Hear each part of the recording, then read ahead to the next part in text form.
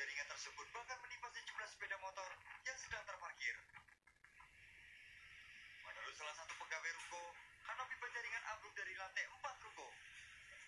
Kanopi bajaringan berukuran 12 meter ambruk setelah dilanda hujan deras disertai angin kencang. ini kejadiannya kan memang dadakan jadi hujan ini kebetulan hujan angin ya terus banget jadi saya juga apa jadi kaget tiba-tiba suaranya kenceng banget dari atap ini kan karena memang ini bukan bikin atap masing-masing sendiri-sendiri lah jadi bukan atap yang memang permanen dari bangunan awal bukan makanya ini sifatnya mungkin kurang kuat lah ketika ada ada angin yang kurang ini apa kayak kencang sedikit gitu ya dia langsung terbang Tidak ada korban jiwa dalam peristiwa tersebut. Proses evakuasi ambruknya kanopi penjaringan memakan waktu hampir satu jam.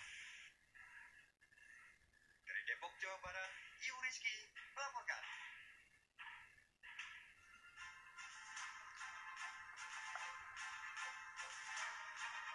Pebulu tangkis nasional Sabda Perkasa Belawa dan sang ibu tewas akibat kecelakaan di Jalan Tol Pemalang, Jawa Tengah.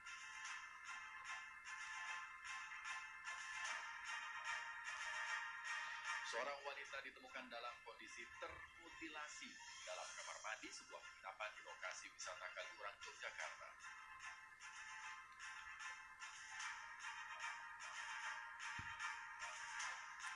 Seorang jaksa di Kejaksaan Tinggi Nusa Tenggara Barat diduga melakukan penipuan rekrutan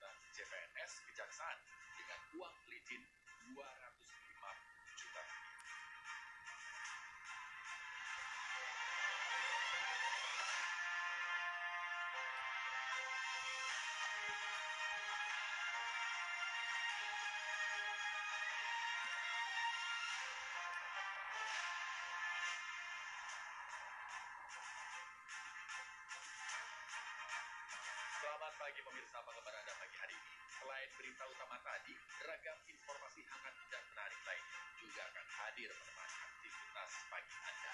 Bersama saya Rizky Hasan, jelasan Pagi selengkapnya.